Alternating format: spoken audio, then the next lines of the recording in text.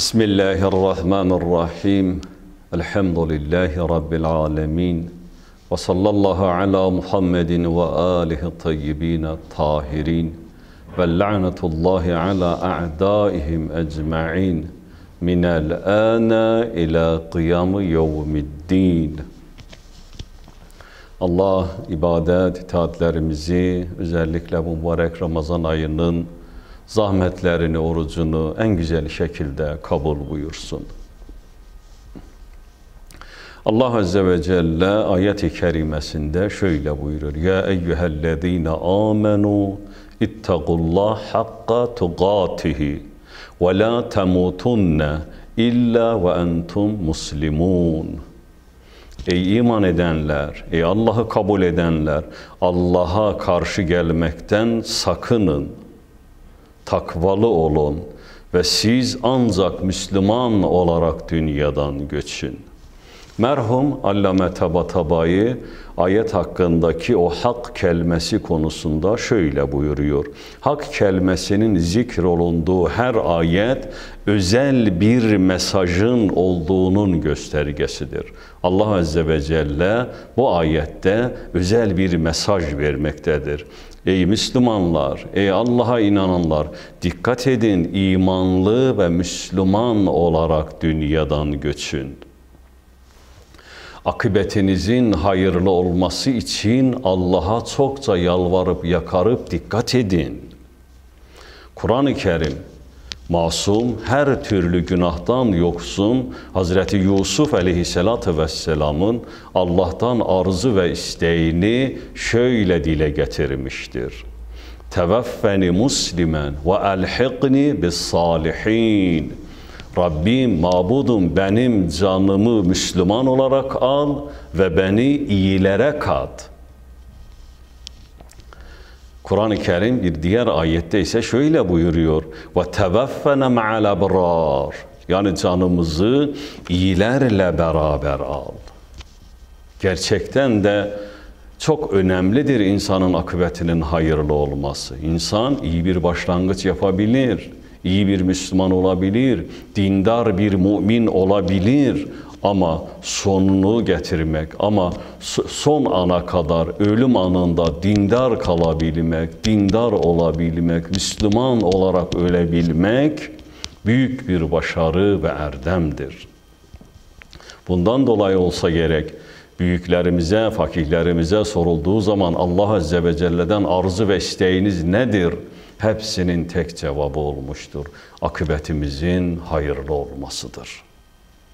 gerçekten de önemliymiş. Tarihe baktığımızda, Beyt imamlarının dönemine baktığımızda, ashabın kimilerinin ayağının kaydığını görüyoruz.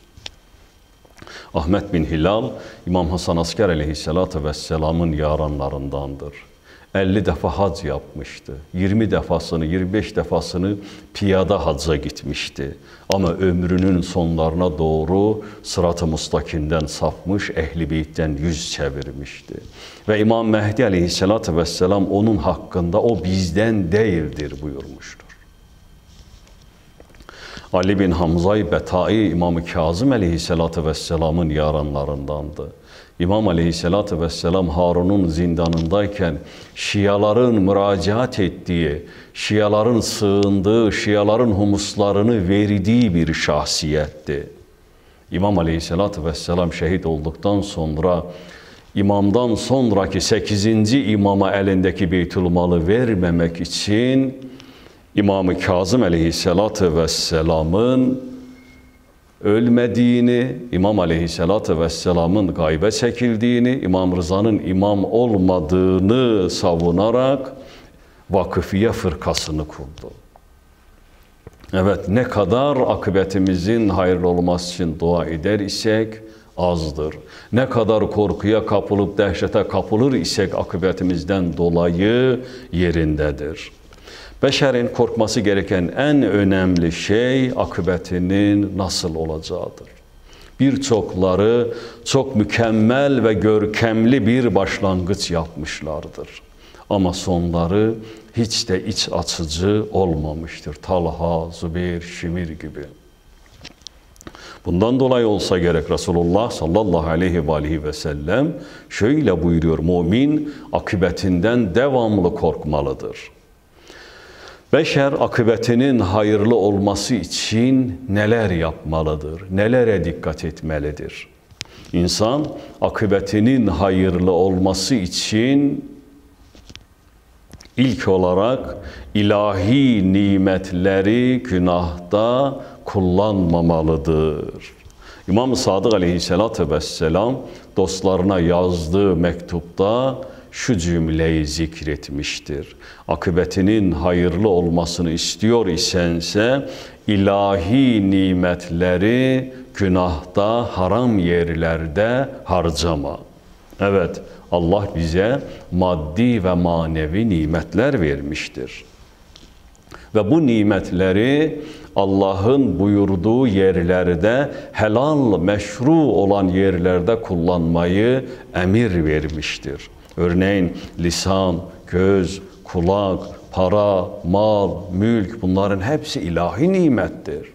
Allah bu nimetleri yerinde, hakkında kullanmayı da emir buyurmuştur. Allah korusun lisanımız, gözümüz, kulağımız, paramız, malımız, mülkümüz gayri meşru yerlerde kullanılıyor ise akıbetimiz hayırlı olmaz. İnsanın akıbetinin hayırlı olmasına neden olan ikinci şey ehli beyt ve ehli beyti sevenleri sevmektir peygamberi hanedanını ve peygamber hanedanını sevenlere sevgi beslemek insanın akıbetini hayırlı eder. İmam Sadık Aleyhisselatü Vesselam şöyle buyuruyor. Bizi seven herkes bize ulaşır. Ehli beyti seven herkes ehli beytle beraberdir. Yani bizi tebliğ eden, bizim hakkımızda kitap yazan, bizi met edenleri sevin. Kısacası ehli beyt dostlarına sevgi ve muhabbet insanın akıbetini çok yakından ilgilendirmektedir. Ehli beyti sevenlere sevgi beslemek, ehli beyti tebliğ edenler, ehli beyti övenleri sevip saymak insanı ehli beytle beraber olmaya götürüyor. İnsanların akıbetinin hayırlı olmasına neden olan üçüncü şey halka hizmet ve ihsandır, yardımda bulunmaktır. Men ahsene ilen nasi hasunet evakibuhu. Rivayette buyuruluyor ki insanlara ihsan edenin akıbeti hayırlı olur. İnsanlara hizmet eden, insanlara el uzatan, insanların sıkıntısını giderenlerin akıbeti hayırlı olur, hayırlara hatm olur. Tarihte insanlara hizmet etmiş, insanlara ihsan etmiş kimselerin akıbetlerinin hayırlı olduğunu okumaktayız. Hatta bir hayvana dahi ihsanda bulunanın akıbetinin hayırlara hatm olduğunu okumuşuz. İmam-ı Kazım aleyhissalatü vesselam döneminde adamın biri Mekke'de İmam-ı Sadık aleyhissalatü vesselamın huzuruna gelerek Efendim Rey şehrinin valisi ağır vergi ödemem için bana ceza kesmiştir. Mümkünse bir mektup yazsanız da vali biraz benim durumumu, halimi gözetlese. İmam Aleyhisselatü Vesselam kağıt kalem alıp valiye şu cümleleri yazdı. Allah'ın yeryüzünde bir rahmet gölgesi vardır.'' Bu gölgesini insanlara ve kardeşlerine yardımcı olanların üzerine düşürür. Adam mektubu aldı. Hac faricesinden sonra vatanına Rey şehrine gitti. Valinin huzuruna çıktı. Valiye İmam Aleyhisselatü Vesselam'ın mektubunu takdim etti. Vali mektubun imamdan olduğunu görünce öpüp teberrük ederek alnına yüzüne sürerek ihtiram ve saygıyla açıp mektubu okudu ve şahısın borcunun hepsini sildi. Adam ikinci il təkrar hacca müşərrəf oldu. İmam əleyhissalatü vəssalamın yanına gəldi. İmam əleyhissalatü vəssalama valinin tüm borclarını sildiyini xəbər verdi. İmam şöylə buyurdu: "O sadəcə səni sevindirmədi. Vallahi o bəni sevindirdi. Babam Əmirül Möminini sevindirdi. Dədəm Resulullahı sevindirdi. Allah da onu sevindirsin." Evet değerli müminler, değerli kardeşlerim, bir müminin sıkıntısını gidermek, bir mümini sevindirmek, ehli beyti sevindirmektir. İnsanlara hizmet, insanlara ihsan, insanların derdine derman olmak, ehli beyt aleyhimussalatu vesselam'ı sevindirmektedir. Özellikle bulunduğumuz bu mübarek Ramazan ayında birisinin sofrasına yardımcı olabiliyor isek, birisinin derdini, sorununu halledebiliyor isek, Ehl-i Beyt aleyhimussalatu vesselam'ı sevindirmişiz. İnsanlar birilerini vasıta koyduğunda insan üşenmemelidir. O vasıtalığı iyi bir şekilde değerlendirmelidir. İnna Allaha ya'muru bil adli vel ihsan. Şüphesiz Allah adaleti iyilik yapmayı emrediyor. Allah bilir ihsan edin, insanlara yardımcı olun, insanların elinden tutun.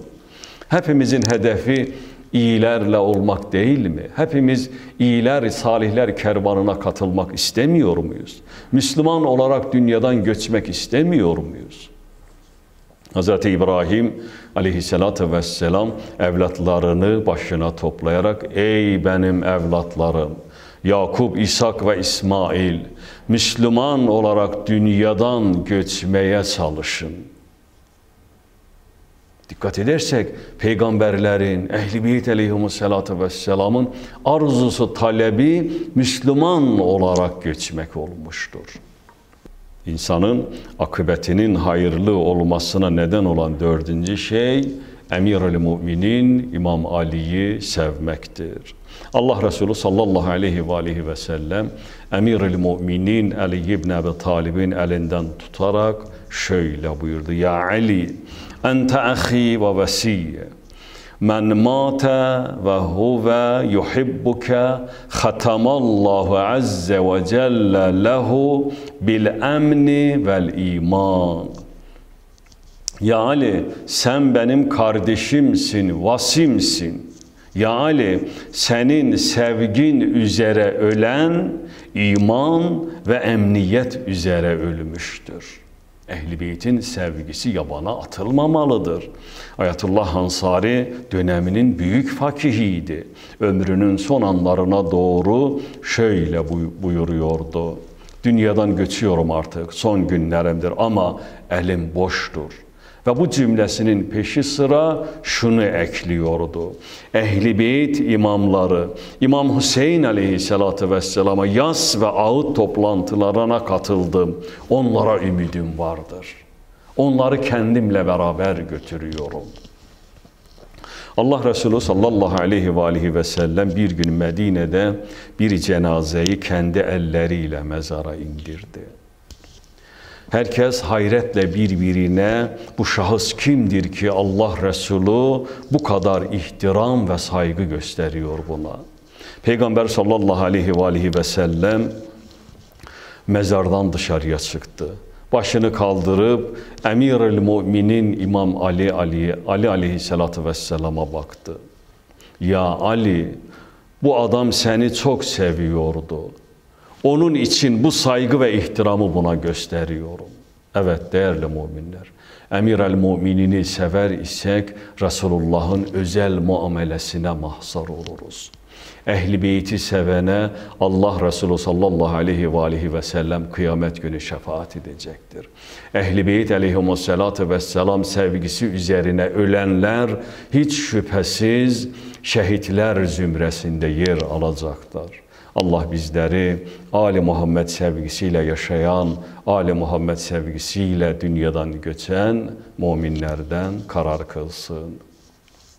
Vesselamu aleyküm ve rahmetullahi ve berekatuhu.